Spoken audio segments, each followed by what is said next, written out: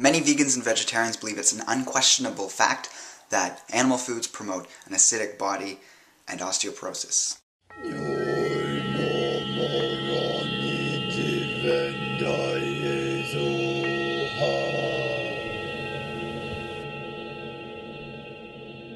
Hello, kindred longevity lifestyle designers. This is Zak here, secrets of longevity.com.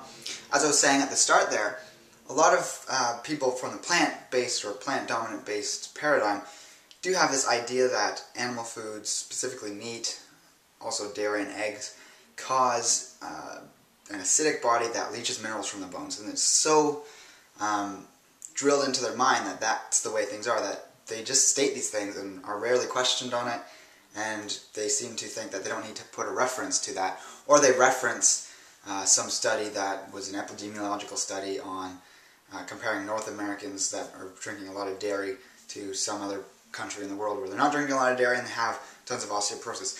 Never mind the fact that those people could be working in deplorable conditions, doing very heavy labor, you know, lifting stuff all day or farming, which builds bone density in and of itself because it follows Wolff's Law, which is you need resistance training of some sort or any kind of physical activity to build bone density regardless of calcium and other mineral intake.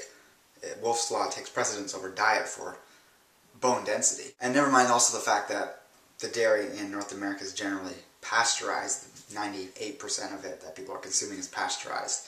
And they also have horrendous dietary habits that go along with that that aren't controlled, so that's why it's an epidemiological study and that's why it shouldn't apply. So despite that, they still have this idea that, you know, animal food, because it supposedly has an acidic effect as it's going through your digestion or end product after digestion, it's going to leach minerals from your bones.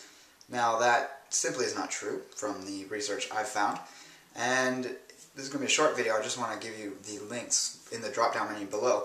If you want to debate this topic with me, definitely post a video response um, as opposed to just commenting and saying some random thing without reference. Post a video response with references and stay away from ad hominem attacks, meaning personal attacks, so that uh, this can be a constructive way that we can really get to the bottom of this issue.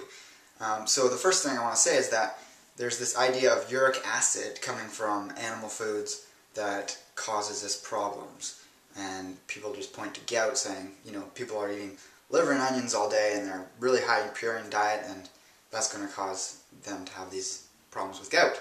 Now despite even in epidemiology that gout is more strongly correlated with starch and fructose consumption, you know, junk foods, and a really high starch, starchitarian diet, as is the North American standard diet, and that's more strongly correlated with gout than animal foods are, people still have this idea that gout's connected to this. Now, the first link below, which is link number one, and you can just go down, you'll see link in brackets one, two, three, four, all the way down to 6 uh, for the links that I'm talking about, is a PubMed uh, research study, and it's talking about humans producing xanthine oxidoreductase, which is a key catalyst in the final synthesis of uric acid. So humans have a very low output of that compared to other animals, and even compared to other apes.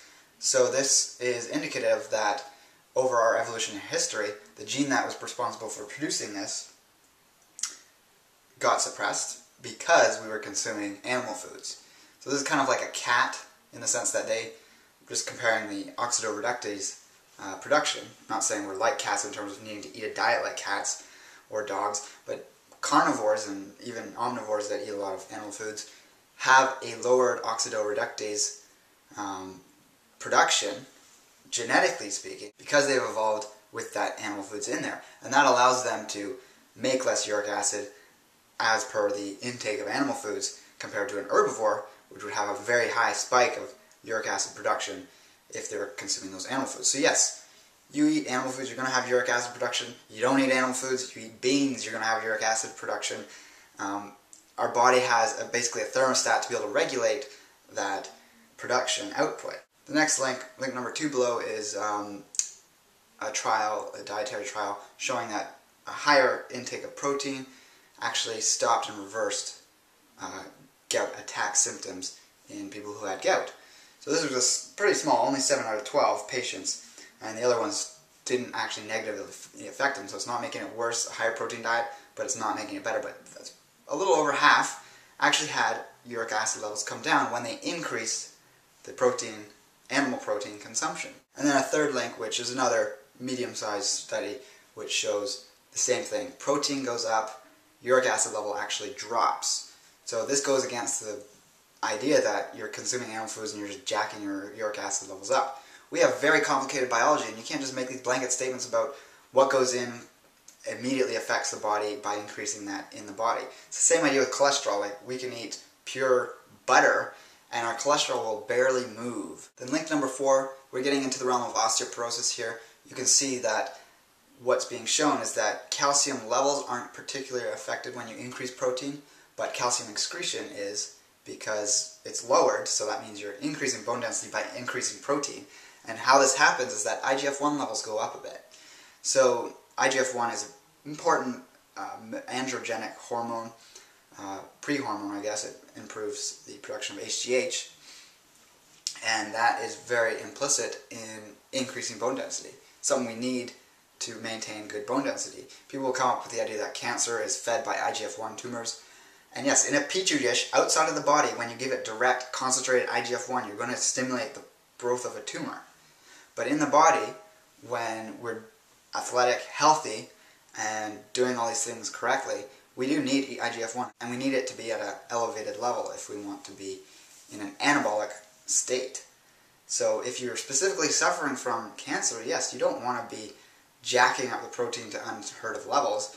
You want to be following a pro protocol that's specific for um, cancer prevention.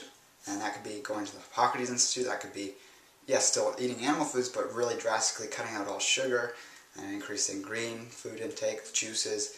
Um, there's plenty of resources on the internet to find out how to approach that.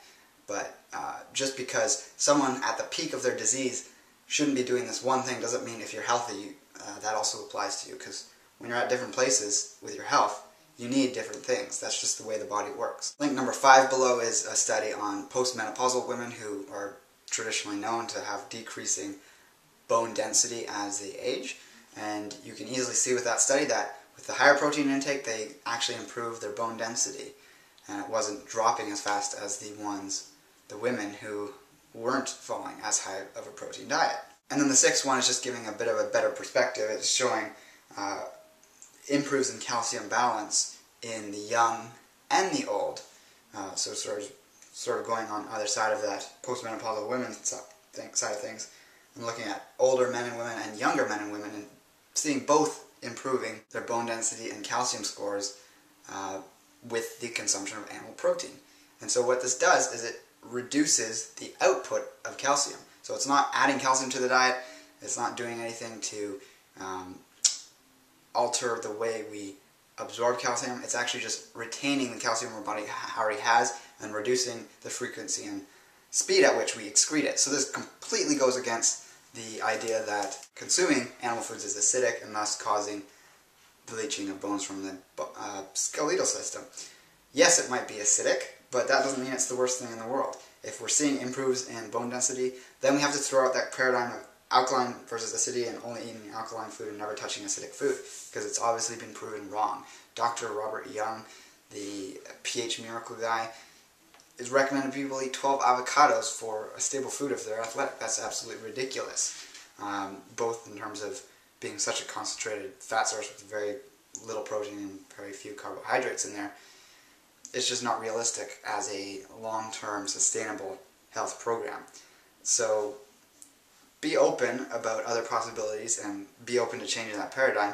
And if you're interested in consuming some animal foods, check out the link below to go to US Wellness Meats and you can get some great pasture-raised animal foods which are going to have a lot less impact on your health negatively than factory-farmed, non-organic, grain-fed animals will. In fact, they'll be building to your health. They'll be positive in the outcomes that you'll find with the consumption of these.